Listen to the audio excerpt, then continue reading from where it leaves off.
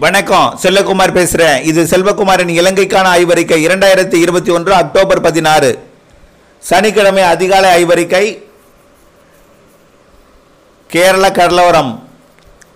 கேரள கடையை கரையை நெருங்கி வரும் தாழ்வு பகுதி காரணமாக காற்று கட்டுப்பாட்டு அமைப்பாக அமைந்து இலங்கை மன்னார் வளைகுடா பாக்ஜல சிந்து வழியாக தென்மேற்கு பருவக்காற்று வலுத்து பயணிக்கிறது.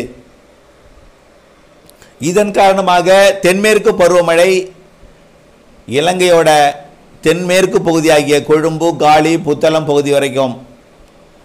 புத்தளத்தை விட தெற்கே கோட்டை காலி கொழும்பு உள்ளே கண்டி வரைக்கும் சாரல் மழை கொடுத்து கொண்டிருக்கும்.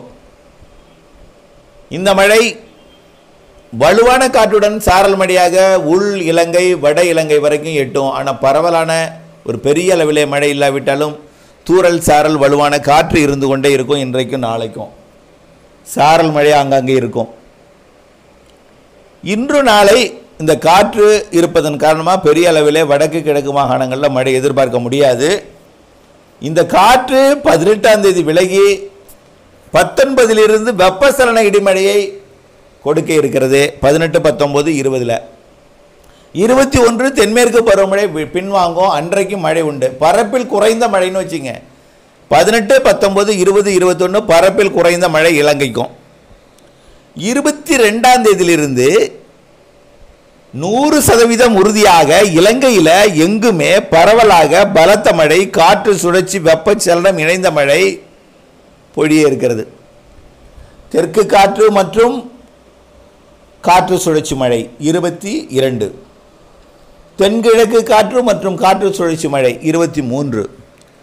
கிழக்கு காற்று மற்றும் காற்று சுழற்சி மழை இருபத்தி நான்காம் தேதி. வடகிழக்கு காற்று மற்றும் காற்று சுழற்சி தென்மேற்கு பருவமழை நிறைவடைந்து வடகிழக்கு திரும்பி முழுமையாக வடகிழக்கு பருவமழை அக்டோபர் இருபத்தைந்தில் தொடங்கும். அன்றிலிருந்து மழைதான் பொங்கல் வரைக்கும். ஆக இன்னும் சில நாட்கள் மட்டும் பொறுமை காத்தால் போதும். நெருங்கி விட்டது நிறைய மழை. வர இருக்கிறது வலுவான மழை. நிரப்ப இருக்கிறது ஏரி குளங்களை. வரக்கூடிய நாட்கள் எல்லாமே சிறந்த மழை. இருபத்தி ரெண்டுக்கு மேல் அது தொடங்கும் எல்லாம் படிப்படியாக மழை பொழிவு கூடும். அடுத்தடுத்த நிகழ்வுகள் இருபத்தைந்து நிகழ்வு ஆந்திர பகுதிக்கு செல்லும். இருபத்தைந்துக்கு மேல் உருவாகக்கூடியது இறுதி நாள் நிகழ்வு. அக்டோபர் இறுதி நாள் நிகழ்வு நவம்பர் மூன்றில் ஆந்திர பகுதி நெல்லூர் பகுதி ஒங்கோல் பகுதிக்கு செல்லும். தீபாவளிக்கு பின் அடுத்தடுத்த நிகழ்வுகள் எல்லாம் இலங்கையை ஒட்டியே வந்து இலங்கைக்கு மழை கொடுத்து தமிழகம் வரும். நவம்பர் டிசம்பரில் இலங்கை மிக நெருக்கமாக வரும். டிசம்பரில் இலங்கையே கடந்து மன்னார் விளைகுடாவே வரும். நிறைய நிகழ்வுகள் மழை தரும் நிகழ்வுகள் தான் இலங்கையை பொறுத்த வரைக்கும் எல்லாமே. இலங்கைக்கு பாதிக்கும் காற்று ஏதும் இதுவரைக்கும் தெரியல. ஆனால் மழை தரும் நிகழ்வு நிறைய இருக்கிறது. பொங்கல் வரை மழை காத்திருக்கிறது. நம்பிக்கையுடன் இருப்போம். மழை நீரை சேகரிப்போம். வானிலை இணைந்திருப்போம். நன்றி.